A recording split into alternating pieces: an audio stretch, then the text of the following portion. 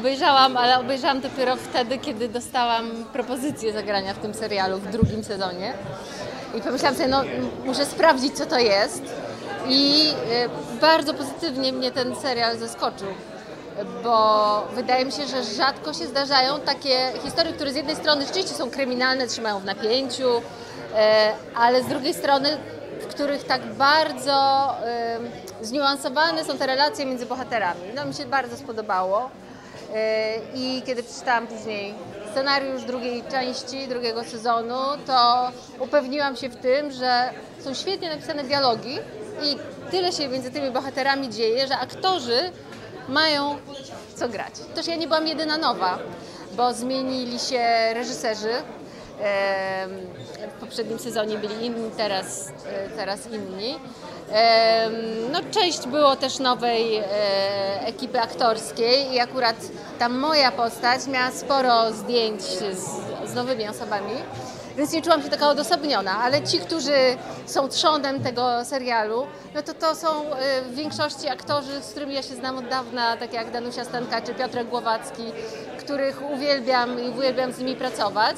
E, Takim odkryciem i nowym spotkaniem było dla mnie spotkanie z Justyną Wasilewską, która jest wspaniałą koleżanką, partnerką na planie, więc mam nadzieję, że to nie ostatnia nasza współpraca.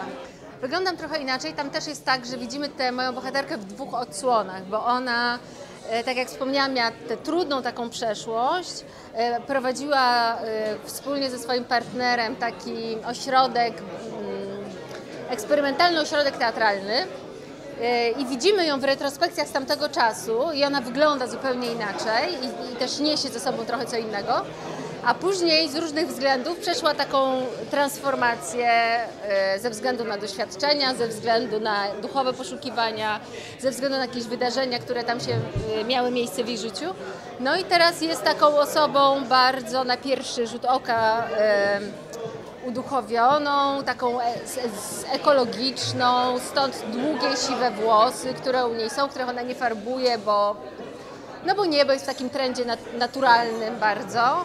A to, że one są siwe, no to, no to zdarza się osobom w tym wieku, które dużo przeszły, rzeczywiście osiwieć, i, a ona potrzy- po, po, postanawia je zachować, a ma je długie, w związku z czym tak spektakularnie dosyć wygląda. Ja chyba lubię takie e, seriale, e, które mają ciekawe portrety psychologiczne postaci i które mają poczucie humoru. E, Podobały mi się Małe Kłamstewka, podobał mi się Biały Lotos. Dużo nie oglądam seriali, bo to jednak trzeba mieć czas, żeby poświęcić e, na, na taki sezon. Ale chyba bardziej w tę stronę, chociaż zdarza mi się też obejrzeć jakieś takie bardziej politycznie hi, historie e, bardziej polityczne. To też mi się wydaje ciekawe, jeżeli jest dobrze zrobione. A, sukcesja mi się bardzo podoba.